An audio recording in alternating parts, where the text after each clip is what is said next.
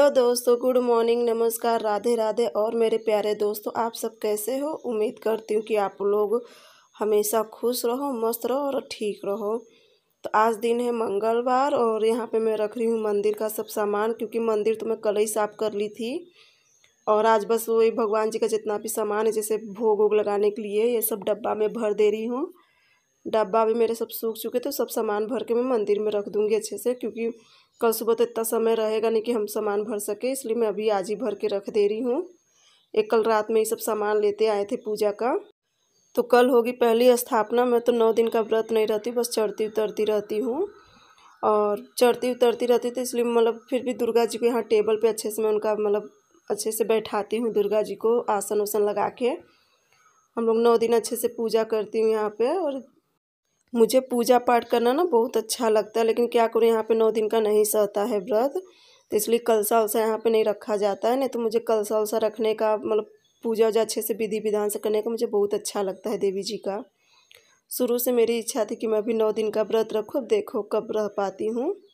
तो यहाँ पर डब्बे में घी वो सब अच्छे से भर के रख दे रही हूँ, ताकि कल मुझे ये सब ना रहे, और यहाँ पे बाती है गोल वाली तो इसे भी तिल्ली के तेल में डुबो के रख दूँगी। क्योंकि बाती भीगी रहती है ना तो सही रहता है तिल्ली के तेल में। और फिर ऊपर से घी डाल के मतलब जला लेते हैं।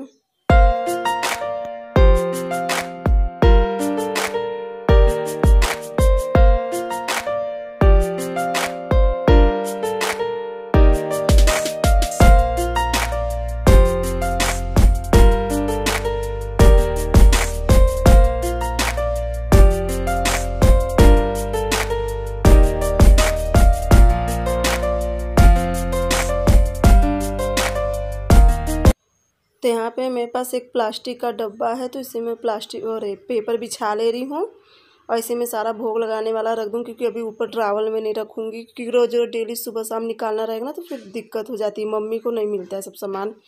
तो इस, इसमें सब सामने रखा रहेगा ना तो उन्हें आसानी से मिल जाएगा। और अभी ये सब करने के बाद मुझे किचन में भी चलना है, क्योंकि किचन में भी अभी पूरा भी सामान सब रखना है। किचन का भी डब्बा उब्बा मैं कल ही धो के रख दी थी तो वहाँ का भी सामान रखूँगी। तो यहाँ का देखिए सब हो गया है। यहाँ मैं लगा दूँगी एक बार झाड़ू पूजा तो खैर मैं सुबह ही कर ली थी। पूजा करने के बाद पहले यहीं लग गई हूँ, क्योंकि मैं कहीं अभी नहीं रख पाऊँगी सामान तो फिर बाद में भी नहीं रख पाऊँगी। तो यहाँ का सामान वामान सब रख के फिर चलती हूँ किचन में।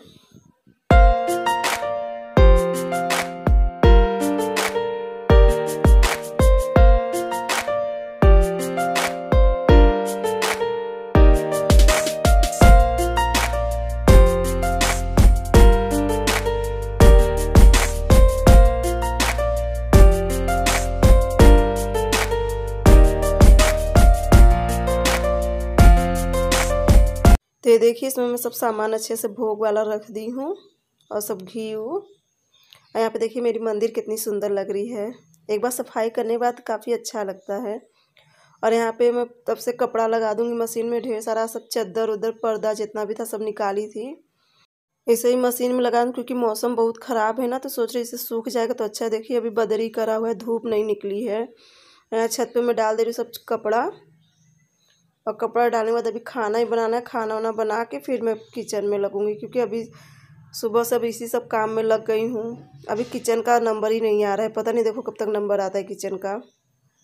तो अभी खाना भी बनाना है। तो यहाँ पे खाना पीना खाने के बाद मैं एक घंटा आराम कर ली थी, अभी इस समय बज रहा है डेढ़ तो आ गई हूँ किचन में। और यहाँ पे देखिए सारा डब्बा वब्बा फैला है। सबसे पहले मैं इसे पोछ लूँगी एक बार, क्योंकि हल्का सा गीला रह गया था ना, सूखा नहीं है। धूप रहती तो सूख जाता है। और यहाँ सिवान से लाइट बंद चालू कर रहा है।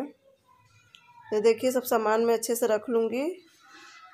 और साथ ही साथ चाय भी बनी थी तो उसे पी के फिर ये देखिए।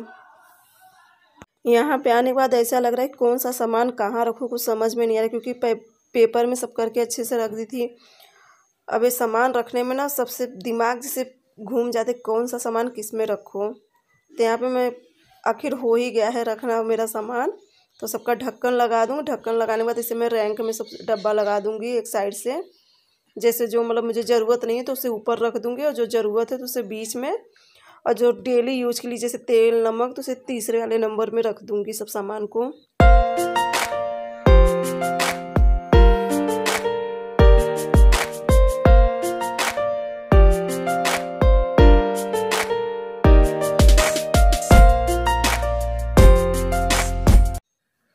पे थोड़ी बहुत मदद मेरी प्रिंसी भी कर रही और ये देखिए सारा कांच का जार है, ये सब जेम की बॉटल है। मुझे जेम की बॉटल बहुत अच्छी लगती है, इसमें जो भी मतलब छोटे छोटे सामान होते हैं ना, मैं सब उसी में डाल देती हूँ।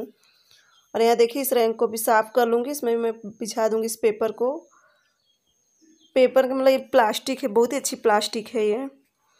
और देखिए यहाँ पे मैं नमक, तेल और नमक है, दाल और फिर तेल इस रैंक में मैं बस डेली यूज़ का सामान रखती हूँ और जो भी तेल का डब्बा वब्बा रखती हूँ ना, उसके नीचे में एक प्लास्टिक की जैसे प्लेट रहती है, उसको डाल देती ताकि पेपर मेरा डेली ख़राब ना हो।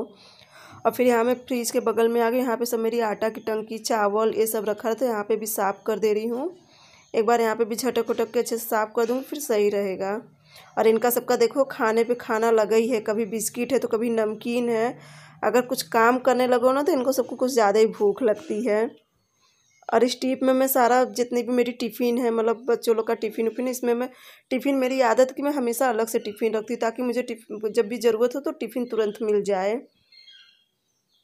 तो यहाँ का करने के बाद फिर मैं लगा दूँगी झाड़ू, और देखिए इस समय लाइट भी कट गई है, और काम मेरा सब हो गया, बस ये जितना भी कचरा देख रहे हैं, कितना सारा कचरा निकला है।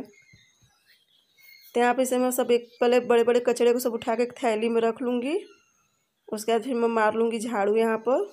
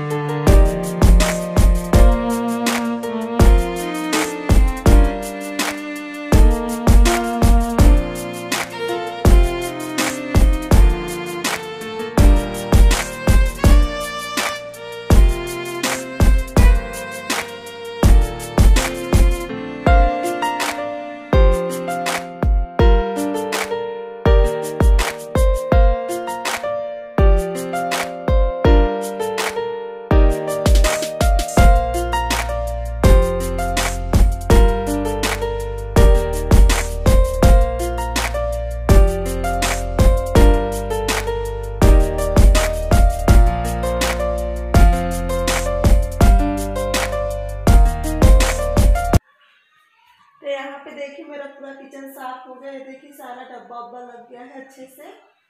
और आप सबसे अगले वीडियो में फिर से मिलोगी, तब तक लिए बाय बाय गुड नाइट।